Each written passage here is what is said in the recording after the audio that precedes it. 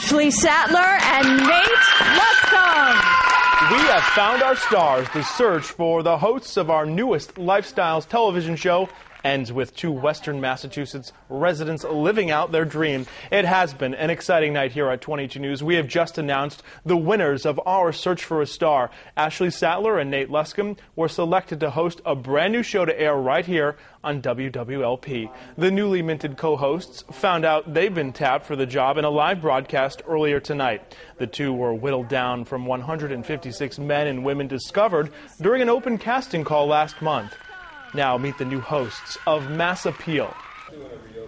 I hope to bring a lot of uh, happiness and excitement and just a lot of positivity to Western Mass for sure, and just give people something fun to watch.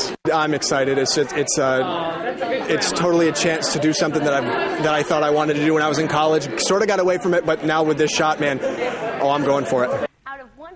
Ashley and Nate will host Mass Appeal weekdays in the coming future. And congratulations to Meghan Lynn Allen and Lopez as well, who were the two semifinalists.